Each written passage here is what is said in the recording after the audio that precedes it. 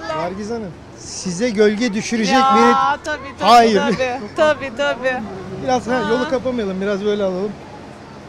Sade günlük şıklık mı diyelim buna ne diyelim? Ay teşekkür kombini? ederim valla. Yani şık bulduysanız teşekkür ederim. Nargiz Hanım ne zaman yaşlanmayı düşünüyorsunuz efendim? Aa, aşk geliyorum, olsun. dikkat ruhum, ederseniz. Ruhum genç. Ruhum genç. Nasılsınız efendim neler İyiyim yapıyorsunuz? teşekkür ederim. Çok Yaz nasıl geçiyor sizin için? Valla güzel geçiyor ya. Fena değil Tatile yani. gidebildik mi? Görüşmeler yapıyorum. Bir gittim geldim. Nereye gittiniz Ondan efendim? sonra Bodrum'daydım. Fiyatlar nasıldı fiyatlar? Ya e, ben öyle herkesin o çok acayip fiyatlara e, yedikleri yerlerde yememeyi tercih ediyorum. efendim o 1200 liralık lahmacunun içinde sizce ne olabilir? Valla içinde anca pırlanta falan ol. içinde anca pırlanta falan olması lazım.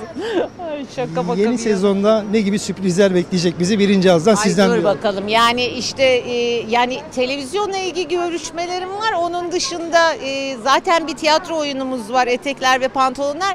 Bir tane daha bir oyun görüşmesi yapıyorum. Tiyatro Dijital oyunu. dünyaya ne zaman geçiş yapacaksınız? Valla dur bakalım o da yani hep bir görüşmeler var. Şimdi hatta öyle bir görüşmeye gideceğim. Bakalım hayırlısı. Peki.